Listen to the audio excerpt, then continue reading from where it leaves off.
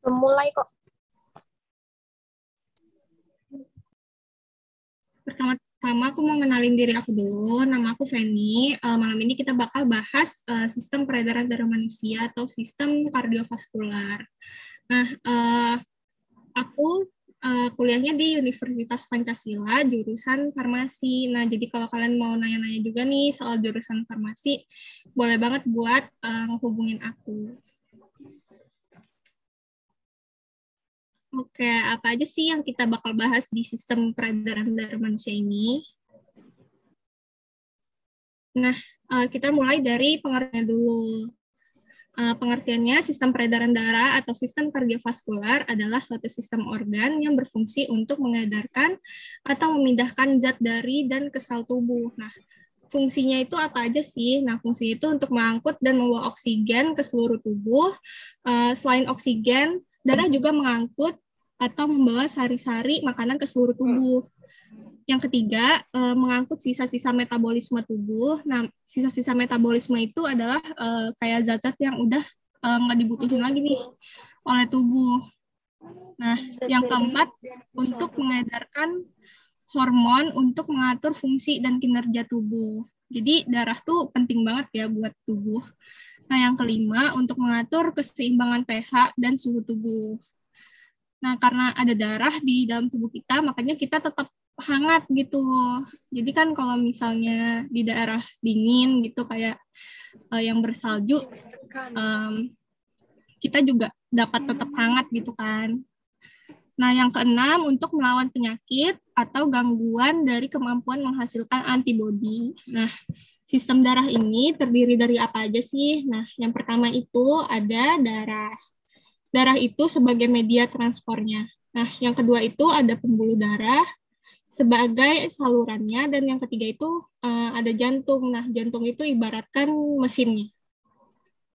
Oke, semoga sampai sini kalian paham ya.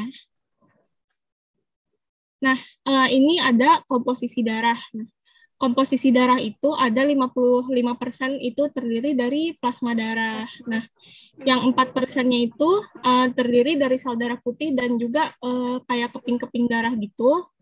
Dan yang Eh, uh, 41 persennya itu adalah sel darah merah. Sel darah merah. Oke, nah uh, setelah itu di sini ini kalian bisa lihat kan ada uh, pembuluh darah itu ini yang kayak saluran tadi ya aku bilang. Nah di sini itu ada sel darah putih, ini juga sel darah putih. Nah kalian bisa lihat kan itu ada yang kayak ungunya yang uh, lebih gede gitu. Ada yang ini gede banget, ini juga ada yang beda gitu bentuknya. Nah, itu kita bakal bahas di selanjutnya nanti di slide setelah ini.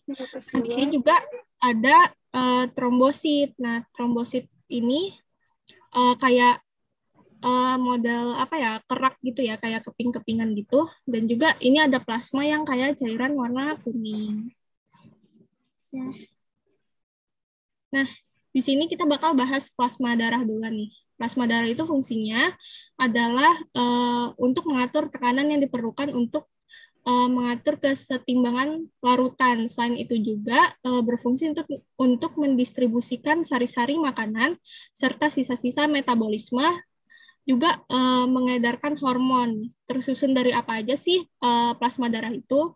Nah, plasma darah itu tersusun atas air, albumin, fibrinogen, globulin, antibodi, zat makanan, dan mineral. Nah, uh, setelah itu ada sel darah yang tadi kalian udah lihat tuh di sebelah. Nah, sel darah itu terbagi menjadi tiga. Ada sel darah merah yaitu eritrosit. Nah, eritrosit itu uh, untuk mengangkut O2 dan CO2 serta mengikat Hb hemoglobin. Nah, uh, sel darah putih itu leukosit itu leukosit ini ntar ada bagian-bagiannya, aku bakal jelasin di terakhir aja. Ini keping darah yaitu trombosit itu juga uh, berfungsi sebagai uh, pembekuan darah ketika kita terluka gitu. Nah, kita balik ke sel darah putih ya. Sel darah putih leukosit itu ada uh, lima. Nah, yang pertama itu ada neutrofil, itu sebagai pemakan bakteri sisa. Eosinofil itu menyerang parasit dalam reaksi alergi basofil itu mengeluarkan histamin dalam reaksi alergi yang membantu membersihkan lemak dari darah dan sebagai antikoagulan. Lalu ada yang keempat itu monosit adalah transit untuk makrofag jaringan. Limfosit uh, itu terbagi menjadi dua, ada limfosit B dan limfosit T sebagai pembentukan antibodi dan respon imun seluler. Nah, uh, leukosit ini juga uh, ada jenisnya gitu, terbagi dua jenis. Nah, uh, terbagi dua jenis, yaitu ada yang uh, granular dan agranular. Nah, uh, apa sih bedanya granular dan agranular itu? Nah, kalau granular itu kayak apa ya? Kalau misalnya tuh kayak ada apa sih kayak model ada ada yang meku gitu loh kayak mungkin kalian bisa lihat tuh yang di sebelah ini tadi yang di sebelah sini tadi nah itu adalah granular gitu yang ini yang kayak ungu-ungunya gini itu adalah granularnya nah uh, apa aja sih yang termasuk granular gitu granular itu yang uh, pokoknya ingatnya itu yang ujungnya fil fil fil gitu. Yang tadi neutrofil, eosinofil, basofil. Nah, kalau yang agranular ya berarti dia uh, kayak nggak ada ungu-ungunya tadi gitu. Itu limfosit dan monosit. Oke, okay. semoga kalian paham. Nah, ini uh, ada um, kayak cek golongan darah gitu. Nah, di sini ada sampel darahnya kan, ini semuanya sampel darah. Ini ada serum anti A. Nah, ini kalau di serum anti A kita bisa ngeliat kan kalau darahnya agak kayak menggumpal gitu. Nah, ketika uh, golongan darah A itu dikasih serum anti B, dia enggak menggumpal gitu, dia tetap aja kayak mencair gitu kan. Nah, ketika dikasih serum anti AB, dia itu menggumpal juga. Nah, berarti itu golongan darah A. Nah, karena kita bisa ngelihat di sini dia uh, gumpalnya itu di A. Nah, kalau di sini itu sampel darah juga ketika dikasih serum A, dia tetap mencair. Ketika dikasih serum B, dia menggumpal. Tuh, dia menggumpal kan. Nah, ketika dikasih serum anti AB, dia juga menggumpal. Nah, berarti dia golongan darah B. Kalau aku cara ngingatnya, itu kalau misalnya dia menggumpal itu A sama B, gitu berarti dia A. Karena kita lihat aja nih, dia kegumpal di sini. Di sini juga yang kegumpal itu B, ya kan? Nah, kalau AB itu kan kita bisa ngeliat nih, dia nggak gumpal semua, hampir semua dia ngegumpal, kecuali yang di darah O, dia nggak gumpal gitu. Nah, berarti patokannya cuma yang ini. Nah, serum anti A, serum anti B. Nah, ini menandakan golongan darah A dan golongan darah B.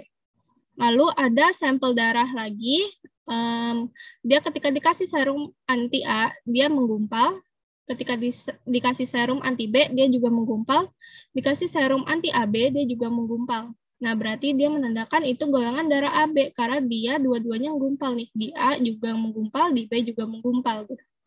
Nah uh, ini sampel darah lagi. Dikasih serum anti A dia tetap mencair. Dikasih serum anti B dia tetap kayak cair juga. Dikasih serum anti AB, dia juga tetap cair gitu. Nah, berarti dia golongan darah O. Nah, seperti yang kita tahu, golongan darah O itu golongan darah universal gitu. Dia donor universal, berarti dia bisa aja nih ngedonor ke semua golongan darah ini. Kalau misalnya uh, yang penerima universal itu adalah AB, nah dia bisa menerima semuanya gitu. Tapi kalau O ini meskipun dia donor universal, dia belum tentu bisa menerima semua golongan darah ini gitu.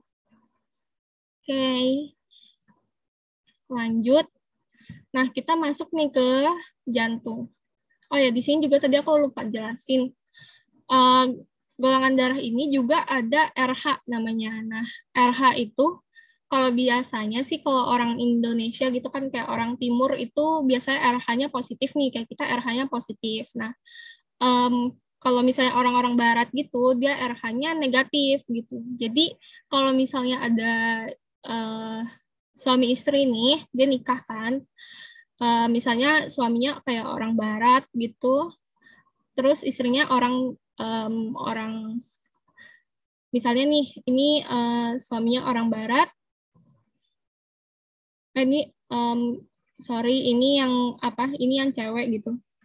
Dia orang orang Indonesia orang Timur dan juga ini kalau misalnya yang cowoknya itu orang Barat yaitu RH-nya negatif gitu terus dia kan nikah nih nah pas nikah uh, ternyata istrinya itu mengandung anak yang uh, RH-nya negatif Nah, itu bisa aja berbahaya bagi uh, bayi ataupun ibunya gitu. Kalau misalnya RH-nya itu berbeda gitu, resusnya itu berbeda. Jadi kalau misalnya uh, kayak gitu tuh kadang ada yang selamat, ada yang enggak gitu, tapi tergantung sama kondisi juga pada saat itu. Oke. Okay.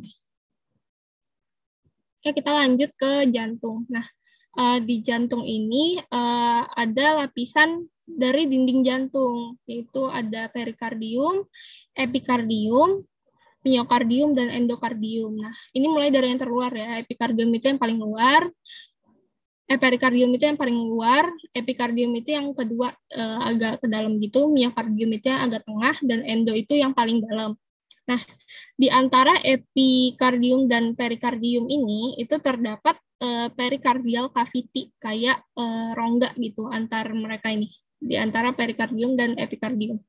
Nah, eh, jantung ini juga memiliki pembuluh darah utama, yaitu yang pertama ada arteri, yang kedua vena, dan ketiga itu kapiler.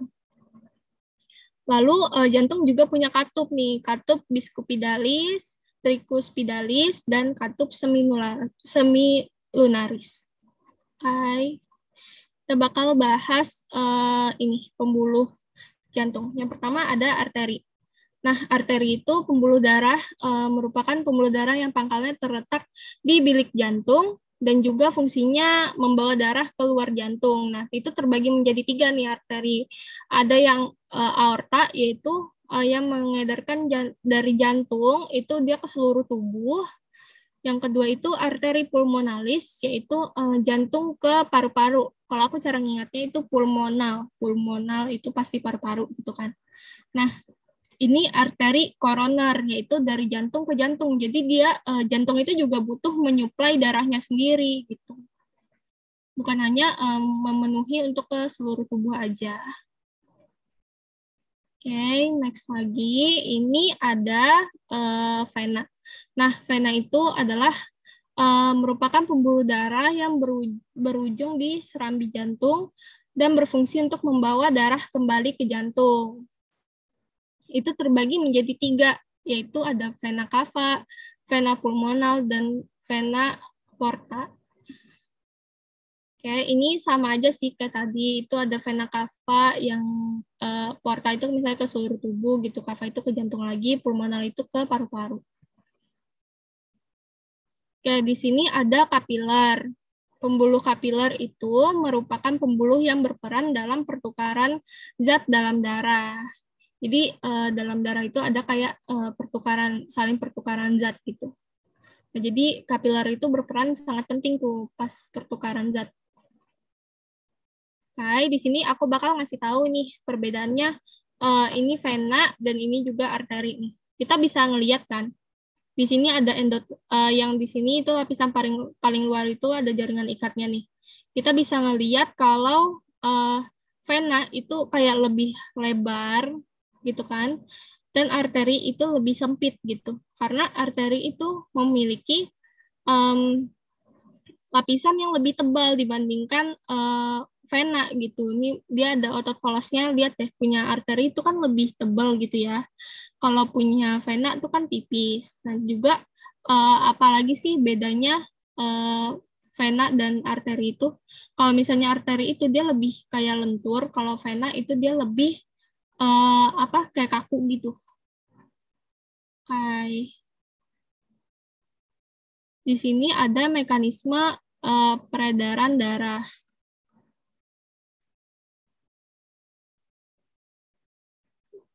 Uh, di sini ada mekanisme peredaran darah.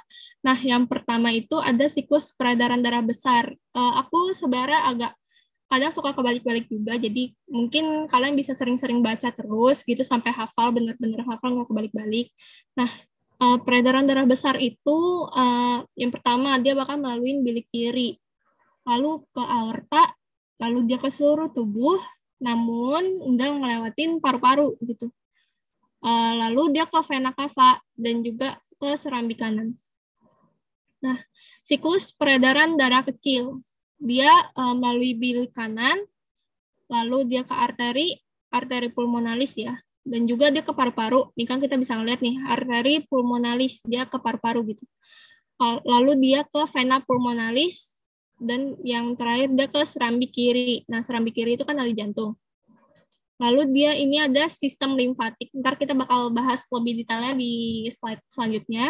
Di sini ada cairan dari jaringan, dia ke kapiler limpa, uh, saluran penampung, pembuluh limpa yang lebih besar, uh, pembentuk trunkus, batang trunkus itu atau batang saluran. Lalu ini ada limpa utama. Oke, uh, mungkin ini aku kurang tahu sih SMA tuh bakal belajar sistem limfatik atau enggak. Tapi aku masukin aja buat sekilas. Oke, ini ada sistem limfatik. Buat yang ngecat aku ntar aku baca ya. Ini sistem limfatik itu pengertiannya adalah uh, sistem limfatik adalah suatu sistem sekunder yang memiliki peran utama dalam menghasilkan imun tubuh uh, imun tubuh itu kan kayak sistem kekebalan tubuh dan juga mengandung limfa atau getah bening. Nah, itu terdiri atas apa aja sih organ limfa ini? Terdiri atas nodus limfa, tonsil, kelenjar timus, dan juga uh, limfa. Cairan limfa itu uh, cairan yang ada di dalam jaringan yang mampu diserap oleh kapiler limfa. Pembuluh limfa itu pembuluh yang berupa vena kecil berdinding tipis uh, dan juga dia transparan, uh, terbuka di ujung-ujungnya, serta memiliki kapiler limpa. Oke. Okay. Ini aku nggak bakal mendetail kok di sini. Jadi itu doang uh, buat penjelasan sistem limfatik. Nah, ini lanjut ke gangguan atau penyakit pada sistem peredaran darah. Aku cuma bahas beberapa penyakit doang ya, guys. Nah, di sini uh, ada gangguan atau penyakit pada jantung nih. Nah, yang pertama itu uh, penyakit jantung koroner. Gangguan yang terjadi disebabkan adanya plak pada arteri koroner uh, sehingga darah yang mengandung oksigen tidak sampai ke otot jantung. Nah, yang yang kedua ada aritma, yaitu gangguan yang terjadi di mana kondisi irama pada jantung itu tidak teratur alias uh, tidak berdetak secara normal, bisa lebih cepat atau lebih lambat. Kan kalau misalnya jantung tuh uh, kalau berdetak itu kan ada temponya gitu ya. Nah, dia juga nggak boleh kecepatan dan juga terlalu lambat. Tapi ini buat yang terus-menerus ya. Kalau misalnya kalau deg-degan doang sih uh, wajar, ntar juga balik normal lagi gitu. Kayak mungkin kalau kalian ada yang tahu nih gangguan uh, pada penyakit pada jantung lagi, boleh aja komen buat nambah-nambahin di sini biar teman-teman yang lain juga tahu. Aku cuman bahas uh, dua doang. Nah, di sini ada gangguan penyakit pada darah. Nah, yang pertama itu ada anemia. Ada nggak sih kalian di sini anemia? Terutama sih cewek-cewek biasa ya. Jadi kalian harus minum tablet tambah darah, kadang atau sangobion, biar kalian nggak anemia. Nah, anemia itu merupakan gangguan yang terjadi akibat kurangnya hemoglobin dalam darah uh, eritrosit dan juga volume darah itu sendiri. Hal ini disebabkan oleh kurangnya zat besi dan vitamin B12. Nah, di sini juga ada yang kedua itu leukemia atau kanker darah.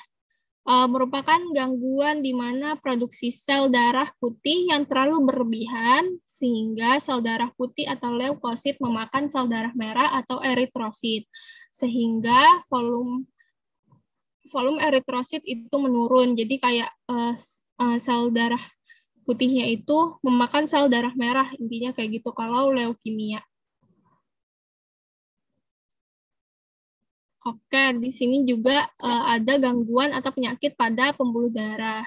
Nah, yang pertama itu uh, ada trombus, yaitu merupakan gangguan akibat adanya disfungsi endotel sehingga terdapat gumpalan bekuan darah yang menyumbat pembuluh darah pada jaringan yang terjadi kerusakan gitu. Nah, yang kedua itu ada varises, e, merupakan gangguan di mana terjadinya pembesaran pembuluh darah vena. Nah, kalian biasanya pasti nggak asing sih kalau dengan dengar varises gitu ya. kayak ada urat-urat yang keluar gitu. Oke, ini udah masuk ke kuis sih. Kalian maunya kuis dulu atau ini ada tiga soal doang? Atau mau tanya jawab dulu? Boleh komen dulu guys.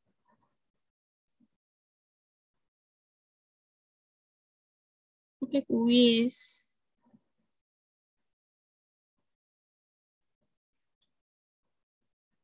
Oke, kuis aja ya. Berarti ini udah banyak yang komen kuis.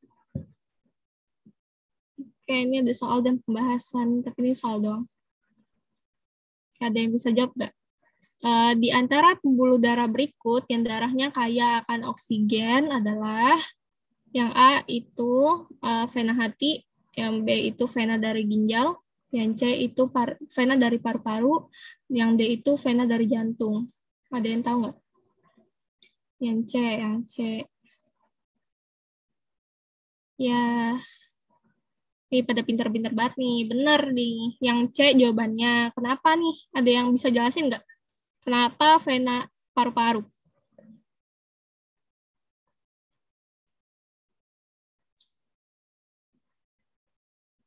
Karena dari alveolus. Ya, benar. Benar nih. Si Rifki Anto. Benar jawabannya. Karena uh, pembuluh darah berikut yang kayak akan oksigen yaitu uh, vena dari paru-paru. Nah, karena vena pembuluh darah ini dia membawa uh, darah yang sedikit akan oksigen itu uh, ke paru-paru yang bakal kaya akan oksigen gitu. Oke. Okay. Keren guys. Kita next ya berarti. Nah, ini fungsi hemoglobin adalah yang A itu membawa CO2 ke jaringan. Yang B itu membawa CO2 dari jaringan. Hati-hati ya, ke atau dari. Yang C itu membawa dari dalam proses pembekuan darah. Yang D itu mengikat oksigen untuk diedarkan ke seluruh bagian tubuh. Dia bisa jawab. Ada yang D. Oke, ini D semua ya.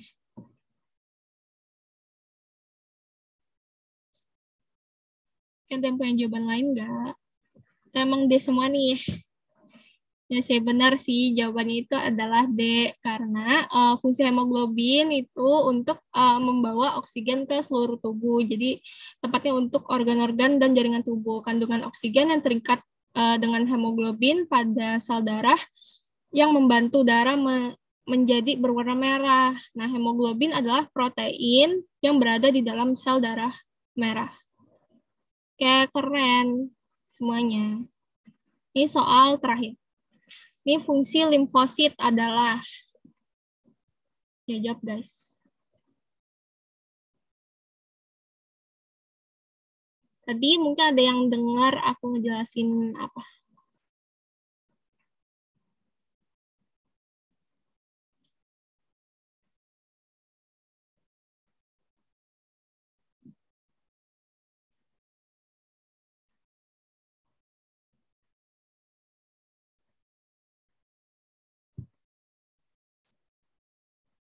Yang A, ini jawabannya pada A. Oke, jawabannya pada A, yaitu benar. Jawabannya adalah untuk membentuk antibodi. Oke, segitu doang kok. Oh, materi kita udah selesai kok, guys. Sebentar ya, karena emang materinya dikit dan gak terlalu mendalam. Tapi kita balik dulu kali ya. Ada yang nanya soalnya aku lihat. Sini. Okay. uh, eh, yang pertama nih ada nanya. Berarti plasma darah melakukan kerja homeostatis gitu nggak? Kalau untuk ini sih aku agak lupa ya, karena aku belajar ini uh, pas SMA. Kalau kuliah aku nggak terlalu belajar ini sih, homeostatis gitu-gitu. Soalnya aku kuliahnya juga cuma sekilas. Jadi mungkin aku simpan dulu pertanyaannya ya.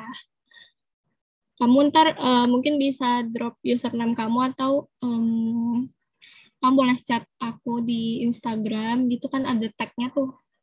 Tiga aku kamu boleh chat aku kok. Yang ini uh, cara ngafal uh, bedanya vena kapiler dan lain-lain. Apa tuh yang di sini tadi ya? Bedanya.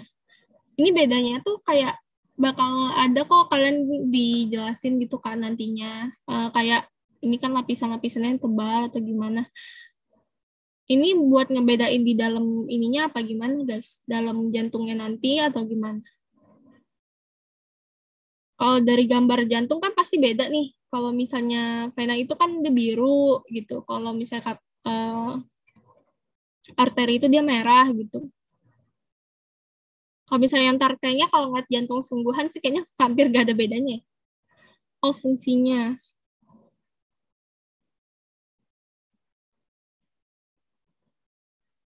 Oh kalau fungsinya sih kurang lebih sama nih. Kita bisa lihat aja di sini. Nah kalau biasanya kalau arteri itu kan dari jantung ke seluruh tubuh. Biasanya nih terletak pada uh, bilik jantung gitu. Bagian jantung yang di bilik itu yang membawa darah keluar jantung. Nah, misalnya nih yang mengarah, aduh, ini karena gambar jantungnya kayak gini agak susah sih. Nah, jadi uh, yang mana membawa darah keluar jantung itu misalnya uh, arteri gitu kan, ntar bisa kelihatan nih yang di sini nih. Kalau misalnya yang ini vena itu kan yang berfungsi membawa darah itu kembali ke jantung. Nah, uh, si vena itu yang bawa balik lagi ke jantungnya itu sendiri gitu.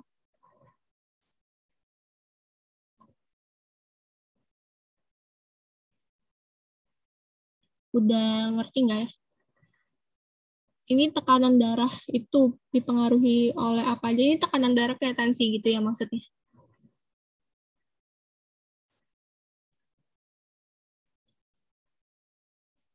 Kalau tekanan darah yang kayak tensi gitu sih uh, tergantung ini ya detak jantung kita pastinya. Uh, dan juga uh, kita juga ada penyakit atau enggak. Nah, biasanya sih penyakit itu kan ada yang keturunan dan juga uh, mungkin kita lagi makan uh, yang bikin darah tinggi atau kita minum obat yang bikin darah kita tekanan darah kita turun gitu. Itu juga mempengaruhi uh, tekanan darah. Ini jelasannya gasin yang agglutinin, agglutinin. Oh. Agranular dan granular maksudnya ya.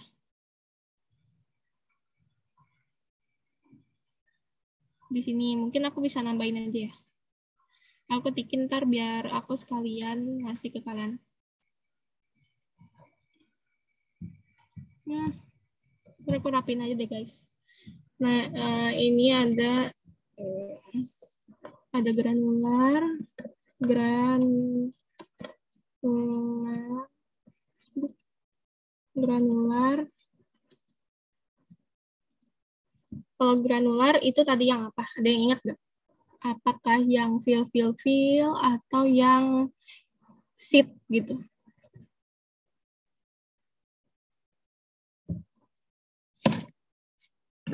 Feel. Benar. Neutrofil. Eosinofil. Dan basofil. Kalau misalnya yang agranular, jadi ada apa aja?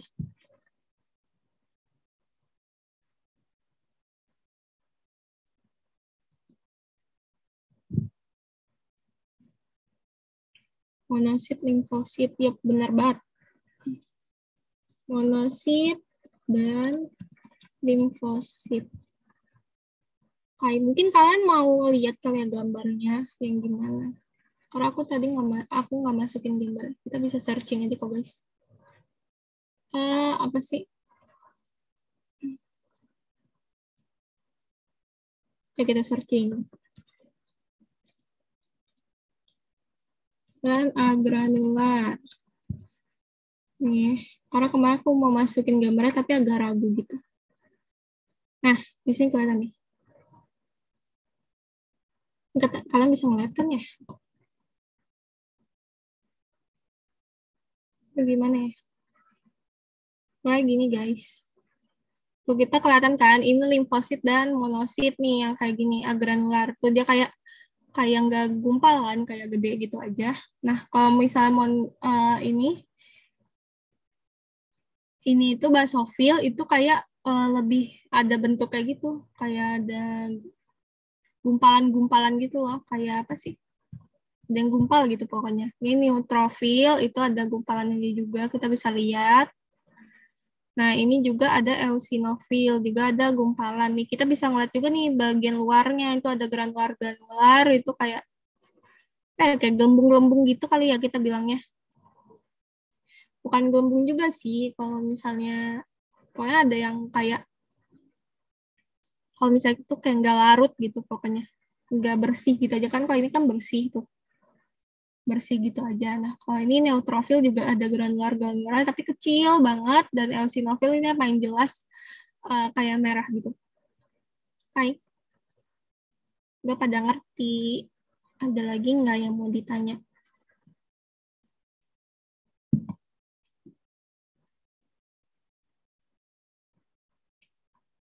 Kalau nggak ada, aku mau stop share. Mungkin kita bakal ngobrol-ngobrol doang.